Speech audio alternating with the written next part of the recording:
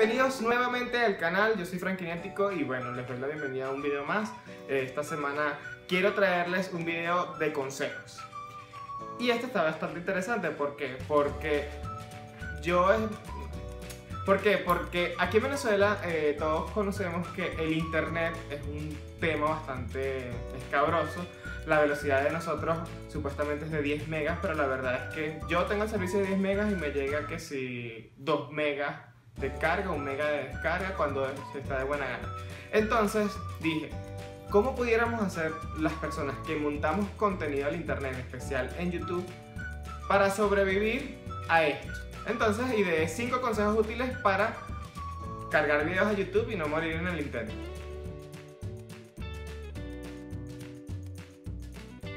Consejo número 1. Mantén la calma, es lo principal. Yo sé que es bastante difícil cuando tenemos una velocidad de navegación bastante baja y tenemos que subir un video que es bastante pesado y decimos, conchale, ¿cómo podemos hacer para que esto avance, para que esto no se cuelgue? Mira, lo más importante es relajarte, no vayas a caer en estos extremos.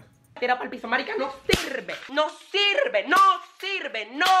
CanTV no sirve. No, ¿por qué? Porque vas a hacer doble trabajo. Primero, comprar un modem nuevo que están bastante costosos porque CanTV nunca tiene modem. Y segundo, volver a iniciar el trabajo. Entonces es preferible calmarte, no pagarlo con los electrodomésticos o con el modem. ¿Por qué? Porque no tiene la culpa. El internet no te lo provee el modem, sino te lo provee CanTV. Consejo número 2 la calidad del video que vayas a subir a YouTube es importante. Entre más pesado sea el video, más vas a tardar en cargar el video. Es decir, si tienes un video con resolución HD de 1080 de 10 minutos, imagínate cuánto vas a tardar en cargarlo.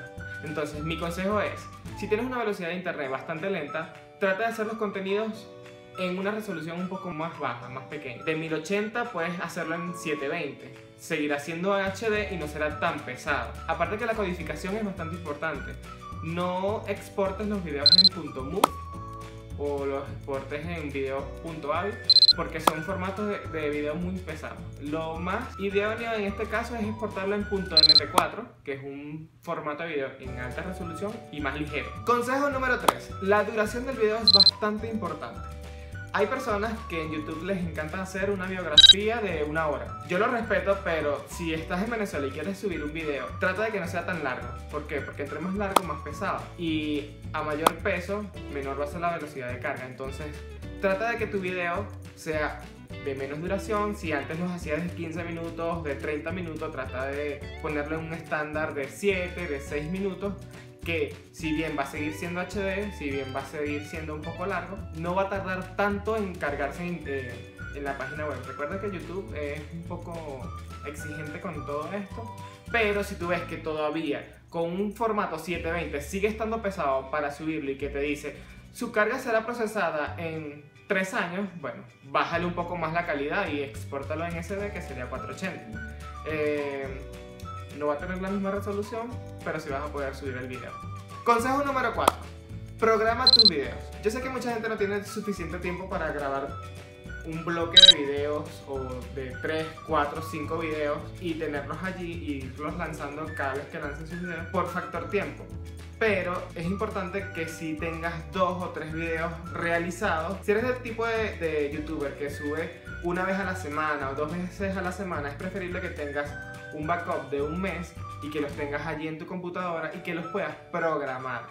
YouTube te permite eh, programar tus videos, es decir, tú los puedes programar en la fecha y en la hora que tú quieres que se publiquen. Esto te va a facilitar a que si tienes una conexión pésima como la de CanTV, puedes programarlos con tiempo y dejarlos allí ellos se van a ir lanzando solos. Y consejo número 5 es, utiliza CanTV después de la 10 de la noche sí es fastidioso, muchas personas se acuestan a dormir temprano, otros no tienen tiempo, otras personas como yo trabajan de noche y es mucho más fácil. Pero ¿por qué te digo esto? Porque generalmente las líneas de CanTV eh, o la banda ancha de CanTV se congestionan durante el día o ciertas horas del día. Por ejemplo, veamos esto como que si fuera el tráfico.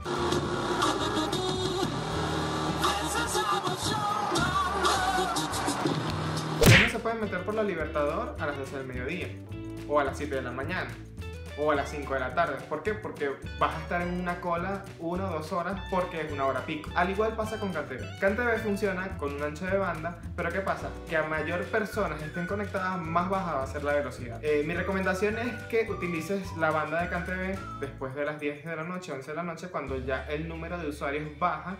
Porque, por ejemplo, yo vivo en un edificio y en mi edificio todos tienen Wi-Fi. Y si todos están conectados durante el día en Wi-Fi, obviamente la señal que llega al edificio va a disminuir y a medida que la gente se vaya desconectando va a ir aumentando. Ten en cuenta esto al momento de subir tus videos y ponlos a cargar en la noche.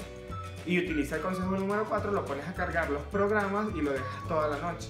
Ya cuando te despiertes en la mañana ya se ha procesado el video y lo que haces es o postearlo de una vez o dejarlo allí programado. Recuerda que tú puedes tener en tu plataforma de YouTube todos los videos programados que tú quieras. También, eh, como extra tip, trata de que cuando vayas a subir tus videos a la plataforma de YouTube sea por el navegador de Google Chrome. Ya yo he intentado subir varios videos por Mozilla, por Safari y por Chrome para ver si en verdad hay una diferencia y si la hay. He notado que cuando subo los videos por Google Chrome tarda mucho menos y tengo mucho menos riesgo de que me dé error al cargar la página. Tengan eso en cuenta cada vez que vayan a subir sus videos. Y bueno, este video está corto, pero creo que está bastante condensado. Eh, espero que les sirva y les funcione a todas esas personas que quieran subir contenido creativo a internet, en especial en YouTube. Si te gustó este video, compártelo, suscríbete dale manito arriba. Sígueme en mis redes sociales, en todas me vas a encontrar como arroba frankinético. Nos vemos en el próximo video. Chao.